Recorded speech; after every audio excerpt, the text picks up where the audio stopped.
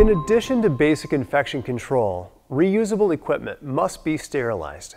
Take the sterilization process extremely seriously and make sure to follow your local requirements. Here are the basic steps on how to safely clean and sterilize contaminated instruments in a body art shop.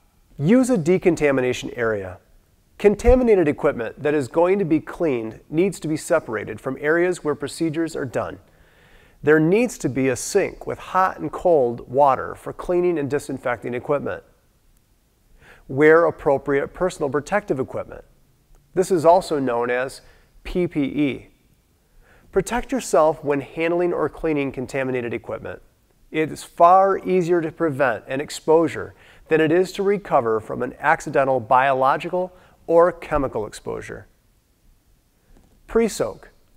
Instruments should not be left overnight in plain water because they can develop corrosion and biofilms that make the instruments harder to clean. However, instruments can be kept wet in a holding solution for a short period of time that can make the instruments easier to clean and decontaminate. Cleaning. In general, there are two approaches to basic disinfection, ultrasonic cleaning and hand cleaning. Don't mistake ultrasonic cleaning of instruments for sterilization.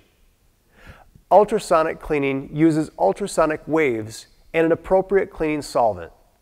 Follow the manufacturer's instructions for use of ultrasonic cleaner. It is also important to disassemble grips, tubes, and tips after ultrasonic cleaning to allow for further cleaning. Hand cleaning instruments should be submerged underwater during scrubbing. This lessens the chance of splattering and cross-contamination. Rinse the cleaned instruments thoroughly under tap water and allowed to air dry before packaging for sterilization. Packaging for the autoclave. Equipment should be packaged in procedure setup packs with color change indicators or packaged individually in peel packs with color change indicators. Hinged instruments should be in an open position.